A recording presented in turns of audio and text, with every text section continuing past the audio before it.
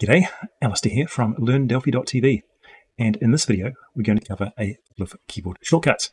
These are shortcuts in GExperts, which is an IDE plugin that you uh, need to install. Uh, link in the notes. Now, the first shortcut, if I'm scrolling through the code somewhere and I come across um, that control and I want to find that on the form, I can just press Control Shift F and there it has selected the uh, this label. Now, of course, Control Shift F is the same shortcut as, I press it again, Find in Files. So Find in Files works when the form is showing, but when you've got the source code showing the uh, Find component reference takes over. So Find in Files, Control Shift F. Uh, I use it a lot, so on the one of my other development machines I'm using a lot, I've remapped that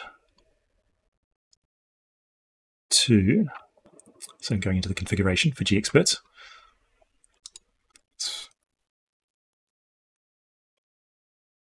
It's find component reference, and I can remap that Control Alt to Control Alt Shift F.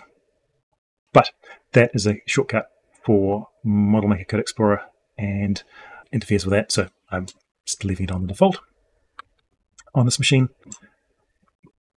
And the other shortcut is Shift Alt U, which is uses clause manager. So if I wanted to add IO utils to the implementation, I can do that.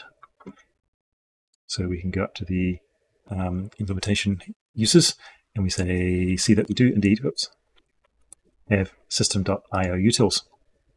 But what I can do is I might decide I didn't actually need it there, I need it in the interface.